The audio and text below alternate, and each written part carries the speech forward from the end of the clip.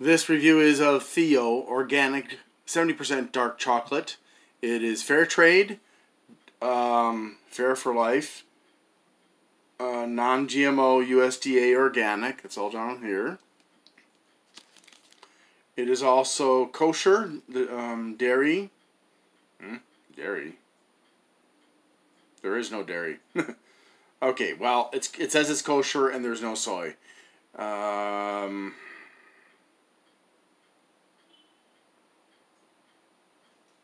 so it's only got three ingredients: organic fair trade, hundred percent fair trade. Um, yeah, uh, this is an American product, suitable for vegans. And there are the ingredients and nutrition facts. Alright.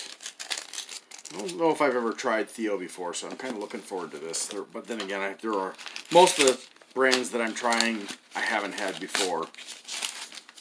Some of them I've never even heard of. Some of them I've had. I love chocolate. My kids think I'm crazy for buying so many. But, you know, 118, I isn't even the total count of what I bought.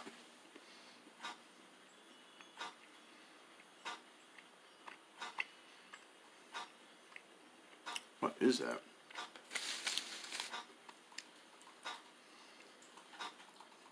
Somewhat sweet. There is an odd flavor in this.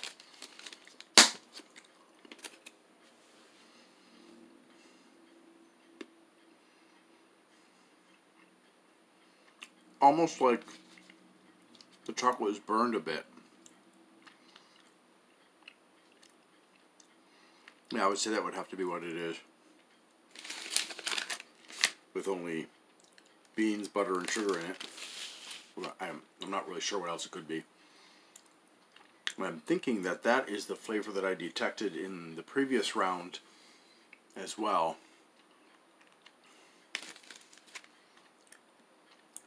But yeah, um,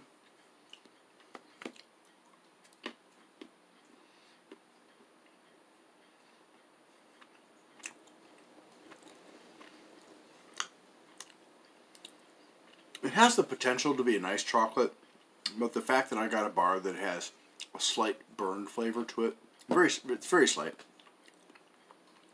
kind of overshadows it. Um,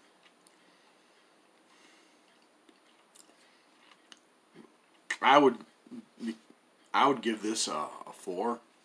Um, quite honestly, I mean, as far as texture and stuff, it's fine. Um, and I'm happy that they're fair trade and all that. But really, to me, anytime I taste food and it tastes like it's been burned, especially if there are flakes of burned stuff in there, I know it tastes like I've burned food too. Uh, you know, that to me is not acceptable. Um, oh, it does give you a, um, a coupon for one Theo chocolate cookie bites bag, four ounce size only. um, so it's an advertisement. All right, well, um, that's pretty much it. Um, not not excited uh, by this bar. Um, I'm hoping that the next Theo bar that I open, I'm not sure if I was able to find another one, or I don't recall. There's just too many. Um, but I'm, if there is another one, I really hope it tastes better than this one. Um, yeah. Thanks so much for watching, and I hope you have a great day.